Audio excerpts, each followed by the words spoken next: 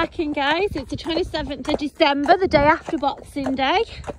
And actually we've been out and we haven't seen a soul. so nobody else is doing this. It's actually extremely foggy. Um, so it's not great riding conditions at all. Um, but I just wanted to bring you a little bit of video of Cash. Um, there's Laura up in front on Cash. So we'll make her apologies that she's definitely not looking her best that's the horse, not Laura. Laura's got a new wellies and equigems on.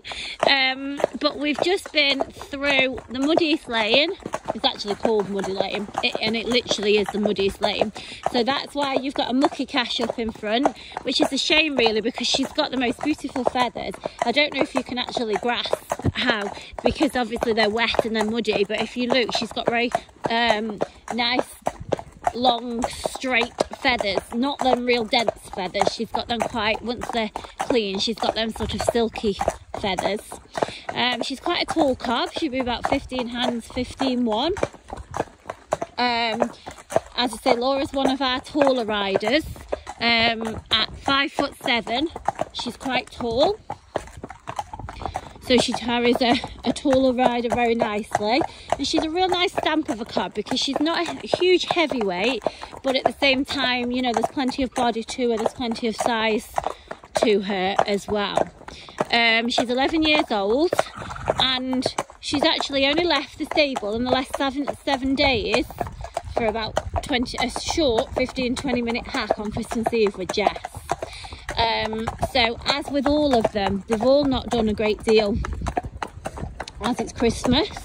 Um, but our horses in particular don't always get turned out and we haven't turned them out over the Christmas period. And so the last time she was ridden was last Friday when I took her on the Christmas ride. If anybody, if you actually saw that video, we went down the busiest main road. It's an excellent video, worth watching if you're interested in any of these. Um, but since that, she's only left the stable once. And um, this just shows, it's just testament to what a good horse, not just her, we've got Daisy out with us as well, and Troy, those are the same as well. Both those two have only been on one hack since last Friday. So I'm always, always looking for these sort of horses and they are literally impossible to find. There's no way I would have op opted to have this many horses in over the Christmas period. But when you've got a chance to buy horses like this, you just can't turn it down because I spend my life looking for them. So Cash, I ended up waiting a little while for her, quite a few weeks for her because she was actually um, on the college. She was a working livery on, on, the college and she wasn't available till they broke up for the Christmas holidays. So I had to wait patiently for her or else I would have bought her this, bought you all this cob two months ago if it would have been up to me. She's used for all the college lessons. Um, she pops all the jumps, so she was used on the, some of the jumping lessons and the grid work lessons and that sort of stuff, the flat work um, stable management and what she did do which was one of her specialities. She was one of the riding and road safety horses both used for the training and the exam as well. So they're not going to use um, a horse on a BHS exam that, on a riding and road safety that's not good that's not riding and road safe.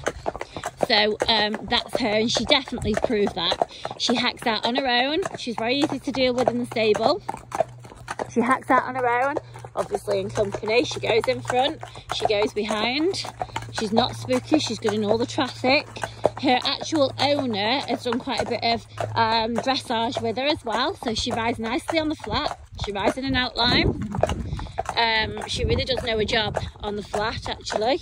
So she's and she's good to load up in a trailer and take to different events on her own. She's been she's done that with her ride her owner, who is a more mature rider, who's done all that sort of stuff with her. She's done all the local shows. She has actually got a little trace clip that's growing out, as per most of them. So we may redo that if we get chance. But this cob is a real um, rare opportunity. To, to be honest, we rarely find the bay traditional cobs. They're not very common to find a nice bay like her. You could clip out the feathers and pull the mane and she'd look like um, like a hunter cob to be honest. So that's a personal preference really. But her types are are quite hard to find. Um, they are you know quite striking. And to find them her size as well is always difficult. And again, she's not strong, she's not sharp, but she's not lazy. She's just that in the middle of ride. We really are super lucky to have the bunch of horses that we've got at the minute to be able to just get on these.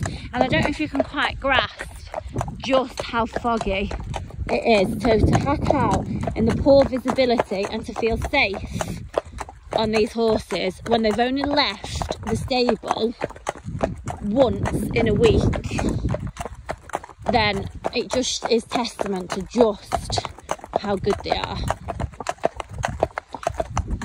So if you're interested in cash,